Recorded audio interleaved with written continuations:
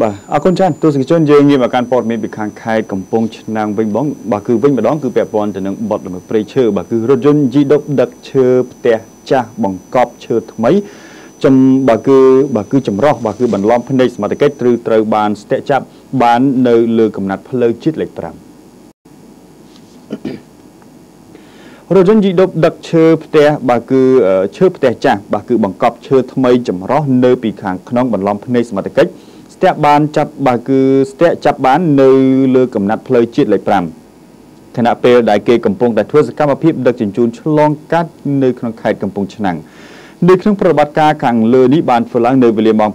9:30នាទីថ្ងៃទី18វិច្ឆិកា2020នៅលើកំណាត់ផ្លូវជាតិលេខ5ត្រង់ចំណុចភូមិបាគឺក្រាំងតាឯកឃុំបាគឺពីនីបាស្រុកកំពង់ត្រឡាចខេត្តកំពង់ឆ្នាំង សមត្ថកិច្ចបានដឹងថាក្រោយខាត់រថយន្តបាគឺធុនធំដឹកបាគឺដឹកឈើផ្ទះចាស់និងមានបង្កប់ឈើចម្រោះខាងក្នុង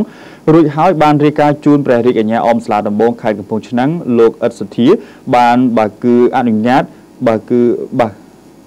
នឹងការអនុញ្ញាតដោយមកបើគឺស្ទាក់ បើគឺស្នាក់ការផ្នែករដ្ឋបាលព្រៃឈើស្រុកកំពង់ត្រឡាចដើម្បីរក្សាទុកស្អែកឡើងទើបធ្វើការរឹបបើគឺរើសឈើរាប់និងអវាស់វែងដើម្បីដឹងអំពីចំនួនឈើពិតប្រាកដរក្សាទុកនៅក្នុងឃ្លាំងចំណែកឯរថយន្តបានធ្វើកំណត់ហេតុបើគឺធ្វើការរាយការណ៍ទៅមន្ទីរកសិកម្មរុក្ខាប្រមាញ់និងនេសាទនិងព្រះរាជអាជ្ញាអមសាលាដំបងខេត្តកំពង់ឆ្នាំងនាយផ្នែករដ្ឋបាលព្រៃឈើកំពង់ត្រឡាចលោកបើគឺអៀមវិចិត្រ បាទគឺលោកអែមវិចិត្របានឲ្យដឹងថារថយន្តធុនធំដឹកឈើខាងលើនេះគឺម៉ា Hino ពណ៌ខៀវពាក់ស្លាកលេខព្រៃវែង 3A 0287ត្រូវបានសមត្ថកិច្ចចម្រុះសហការគ្នាបាទគឺខាត់ចាប់បានដោយរថយន្តនេះគឺដឹកឈើផ្ទះចាស់ហើយលួចបង្កប់បាទគឺឈើថ្មីពីខាងក្រោមដើម្បីបន្លំភ្នែកបាទគឺសមត្ថកិច្ចតាមដងផ្លូវខណៈដែលលិខិតបាទគឺស្នើសុំអនុញ្ញាតដឹកឈើផ្ទះចាស់ លោកបានបន្តថានៅពេលដែលសមត្ថកិច្ចបាទគឺចាប់ឃាត់ក្រុមអ្នកដឹកឈើបានប្រាប់ថាឈើផ្ទះចាស់ចាស់នោះទេតែនៅពេលសមត្ថកិច្ចចម្រោះធ្វើការត្រួតពិនិត្យទើបឃើញសុទ្ធតែឈើប្រភេទបាទគឺក្តារបាទគឺក្តារឈើសន្លឹកនិងឈើជាគ្រឿងថ្មីថ្មីហើយឈើមួយចំនួនទៀតគេមានមុខកាត់ធំធំ ជាប្រភេទឈើមានតម្លៃឆ្លៀតពេលសមត្ថកិច្ចកំពុងតែជាប់រវល់ពិនិត្យឈើដែលលួចដឹកបាទគឺខុសច្បាប់នោះ ក្រុមអ្នកដឹកជញ្ជូនឈើនិងអ្នកបើកបរក៏បានរត់គេចខ្លួនបាត់អស់នាយបាត់ផ្នែករដ្ឋបាលព្រៃឈើស្រុកកំពង់ត្រឡាចបាទគឺលោកអៀមពិចិត្របានបញ្ជាក់ឲ្យដឹងបន្ថែមថាមកដល់ថ្ងៃទី19វិច្ឆិកា2020ឈើកំពុងតែត្រូវបានរើចេញពីរថយន្តហើយគេក៏មិនទាន់ដឹងអំពីចំនួនប៉ុន្មានបាទគឺបន្ទះនិងប៉ុន្មានម៉ែត្រគីបនៅឡើយទេពីព្រោះថាឈើច្រើនពេកនិងធំធំធ្ងន់ធ្ងរទៀតផង។ តែបើតាមការប៉ាន់ប្រមាណគឺអាចជិតទៅដល់20ម៉ែត្រគូបផងដែរលោកនាយរដ្ឋបាលព្រៃឈើស្រុកកំពង់ត្រឡាចបានបញ្ជាក់ថាក្រោយពីពេលធ្វើការវាស់វែងចប់សពគ្រប់មន្ត្រីជំនាញនឹងស្រាវជ្រាវរោគម្ចាស់ឈើពិតប្រាកដដើម្បីធ្វើសេចក្តីជូនដំណឹងឲ្យចូលខ្លួនមកបងផាកពិន័យតាមផ្លូវច្បាប់ស្តីអំពីការដឹកជញ្ជូនផលអនុផលព្រៃឈើដោយទុករយៈពេល30ឆ្នាំបើគឺ30ថ្ងៃ បើរោគម្ចាស់មិនឃើញឬម្ចាស់មិនចូលខ្លួនមកដល់ស្រ័យនោះទេមន្ត្រីជំនាញនឹងកសាងសំណុំរឿងបញ្ជូនទៅតុលាការតាមផ្លូវច្បាប់ មកដល់បើគឺពេលនោះរថយន្តនឹងត្រូវរឹបអូសធ្វើជាកម្មសិទ្ធិរដ្ឋផងដែរបាទនេះរឿងករណីឈើអាស្ទាយដដែលដដែលហ្នឹងគឺដូចនៅតែមិនបារម្ភ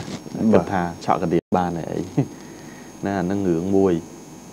ឈើដល់ទៅ គ្រាន់តែឈើថ្មីអាហ្នឹងអត់តរាប់ឈើចាស់ទេណាប្រហែលជា20គីបគួរសមដែរបាទហើយទំហំនេះកន្លងមកបើនិយាយប្រភេទឈើប៉និតអីវិញគេសិនលួចដឹកបាទករណីនេះលួចដែរបើគាត់ថាគិតជួនកាលគាត់មើលសានភាពថាសមត្ថកិច្ចគាត់គិតស្រាលស្រាលពេកសម្រាប់សមត្ថកិច្ចណាបាទអាហ្នឹងជារឿងមួយតែគាត់ថាខ្ញុំដឹករើផ្ទះចាំងមានចាំបាច់ឯកសារអីអឺ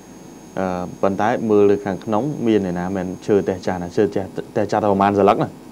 តែទៅខាងក្នុងទៅមកកុងតឺន័រសិតតែប្រភេទឈើថ្មីហើយគាត់ដឹកបន្លំដើម្បីយកទៅលក់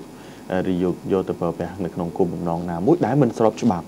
បាទអញ្ចឹងនៅក្នុងលក្ខខណ្ឌនេះអាជ្ញាធររបស់យើងបានចាត់វិធានការហើយហើយកំពុងតែស្រាវជ្រាវរកម្ចាស់ដើមមកទទួលផាកពិន័យបើអត់ទេផុតរយៈពេល1ខែ30ថ្ងៃបាទ យកទាំងឈើយកទាំងឡានចូលសម្បត្តិរដ្ឋណាបាទអាហ្នឹងរឿងមួយទៅរឿងមួយទៀតបើពាក់ព័ន្ធជាមួយនឹងរឿងផាកពិន័យនេះมันពិបាករកម្ចាស់ពេកទេព្រោះហេតុអីចាប់បានតែតកងឡានដឹងម្ចាស់ហើយបាទมันយើងពិបាកទេអញ្ចឹងយើងនឹងចាំមើលមើលតើតើលទ្ធផលនៃការរៀបចំនឹងនឹងចេញទៅជាយ៉ាងម៉េចណាតែជាសារមួយដែលចង់បញ្ជាក់ថាឥឡូវយើងផ្សាយព័ត៌មានច្រើនណាស់ជុំវិញ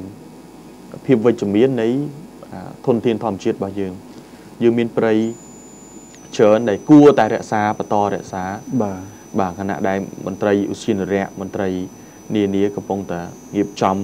នៅក្នុងការធ្វើម៉េចឲ្យវាទៅជាតំបន់មួយដែលពោពេញដោយសក្តានុពលនៃអេកូធម្មជាតិនៃជីវិតរបស់សត្វព្រៃឈើទ្រទ្រង់ដល់ជីវិតមនុស្សយើងទេសចរផ្នែកផ្សេងផ្សេងទៀត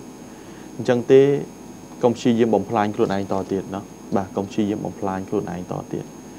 បាត់ល្មើសហ្នឹងពេលខ្លះវាងាយរប៉ុន្តែឃើញច្រើនណាស់ជាគំរូររអញ្ចឹងទៅ4 10ឆ្នាំចុងក្រោយខំឆក់កដៀតផងអីផងគិតថាចាំរៀងថ្ងៃណាដែលមើលទៅជីភាពប្រសើរចាំឈប់ព្រោះអាពេលឈប់អត់ឃើញដល់លទ្ធផលគេចាប់ម្ដងអស់អាលីងខំរងណាអានោះវាអត់អីចំណេញបាទហើយសុំសួរខ្នោះចង្វាក់ទៀតមិនអញ្ចឹងទេពិចារណាឡើងវិញជុំវិញរឿងហ្នឹងហើយស្នើឲ្យសមត្ថកិច្ចដូចគ្នាខិតខំធ្វើម៉េច យើងចាត់វិធានការគឺតាមរយៈខ្សែបដោយមួយចំនួននៅនៅតាមតំបន់នានាដែលមានការដឹកជូនប្រជើចេញហ្នឹងព្រោះកន្លងមក